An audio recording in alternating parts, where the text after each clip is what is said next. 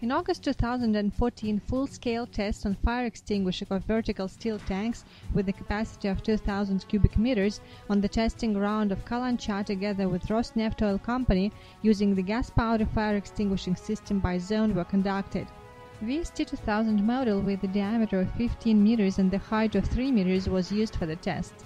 Fire area of gasoline 98 RON was 181 square meters.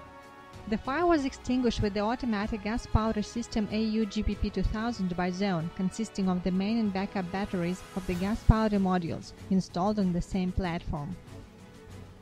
After the fire alarms installed in the upper zone of the tank detect the fire, the alarm control panel sends the launch impulse. The gas powder system BiZone has a fast response and the fire extinguishing mixture is discharged into the protected volume 25 to 30 seconds after the ignition of the tank.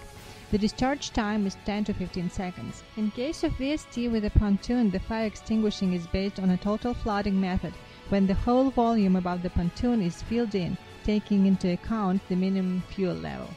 The dispersion of the fire extinguishing agent is parallel to the fuel surface. Sheets of gas powder mixture cuts off the flame, blocks the heat flux from the flame to the fuel surface, prevents air access to the fuel surface, cools down the fuel surface and suppresses the flame.